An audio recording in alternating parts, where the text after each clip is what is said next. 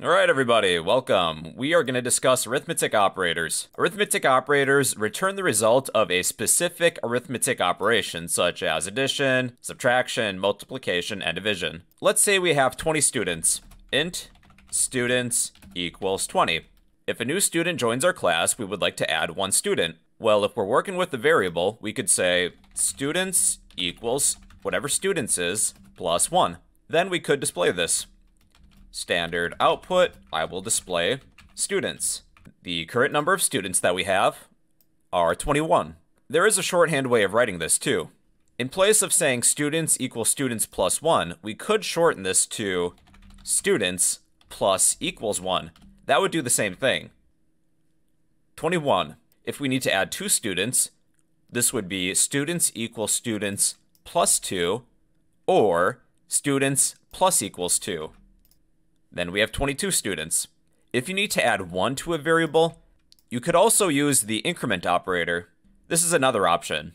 And the preferred way, if you only need to add 1, you would say students plus plus. We now have 21 students. You tend to see this in a lot of loops, which we'll cover later. Okay, now we have subtraction. Students equals students minus 1. There are now 19 students we could shorten this to students minus equals 1. There are 19 students. If you need to subtract 2, we could say either students equals students minus 2 or students minus equals 2. That would do the same thing. There are 18 students. Another option is the decrement operator if you need to decrement a variable by 1. You would say students minus minus. This only subtracts 1 from a variable. There are 19 students. So that's subtraction. To use multiplication, you use an asterisk. I'm going to double the amount of students that we have. Students equals students times 2. There are 40 students. Or we could shorten this to students times equals 2. And again, there are 40 students. For division, you use a forward slash. I'm going to divide our class in half. Students equals students divided by 2. There are 10 students. The shorthand way is students divided by equals 2. There are 10 students. Now check this out. We have 20 students. What if I divide students by 3? We're working with an int variable, so this variable can't hold any decimal portion. 20 divided by 3, that is 6. So any decimal portion is lost, it's truncated. But if we change students to be a double, well then that decimal portion is retained. 6.66 repeating students. If you need the remainder of any division, you can use the modulus operator. Let's create a new variable. int remainder equals students modulus 2. We'll divide our group of 20 students into groups of 2. Then I'll display the remainder.